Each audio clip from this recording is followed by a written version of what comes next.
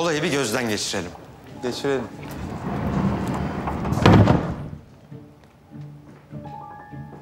Bir erkek ve bir kadın.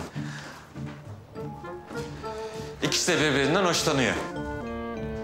Aralarında muazzam bir çekim var. Devam. Kadın elle tutulur hiçbir açıklaması olmadan sürekli erkekten kaçıyor. Ve son perde. istifa. Sonuç? Nazlı senden bir şey saklıyor olabilir mi? Ne gibi bir şey? Bilmiyorum. Yani bir açıklama bulmaya çalışıyorum. Belki de senden sakladığı bir şey var. Ve bu yüzden kaçıyor. Hiçbir zaman bilmeni istemeyeceği bir şey. Geçmişiyle ilgili bir şey mi yani? Nazlı'nın daha önce banka soyduğunu zannetmiyorum Engin. Yani belki bilmiyorum belki de ailesiyle ilgili bir şey. Ailesi bildiğim kadarıyla Antakya'da. Burada Asuman'la yaşıyor. Asuman. Asuman. Asuman'la ilgili olabilir mi?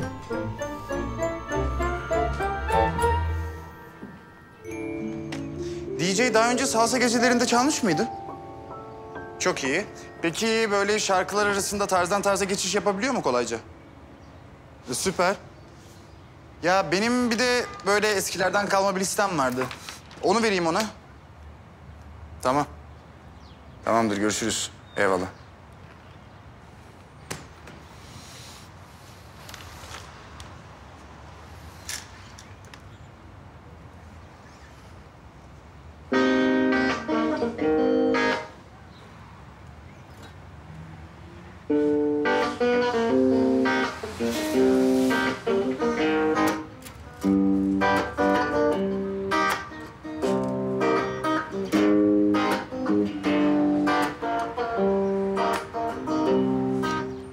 Yani bir keresinde karakola düşmüşlerdi hatırlıyorsun.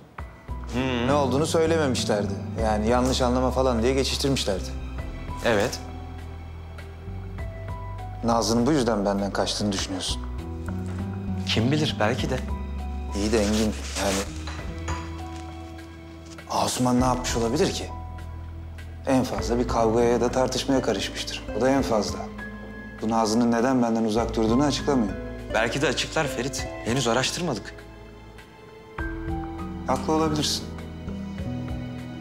Bakalım bakalım halının altından neler çıkacak.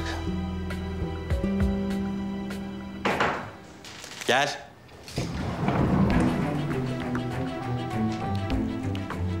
İtalyan misafirlerimiz kahvaltılarını yaptılar, otelden ayrıldılar.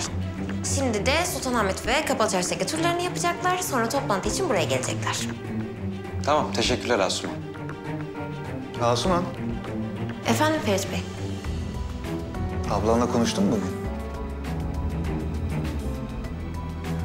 İstifa etme meselesinden bahsediyorsanız haberim var. Maalesef. Maalesef. Yani böyle bir anda istifa etmesine üzüldüm tabii. Sence neden yaptı bunu? Bence. Ben... Bilmiyorum ki benim e, hiçbir fikrim yok. Şey, İkbal Hanım bana kızmadan ben işimin başına döneyim en iyisi olur mu?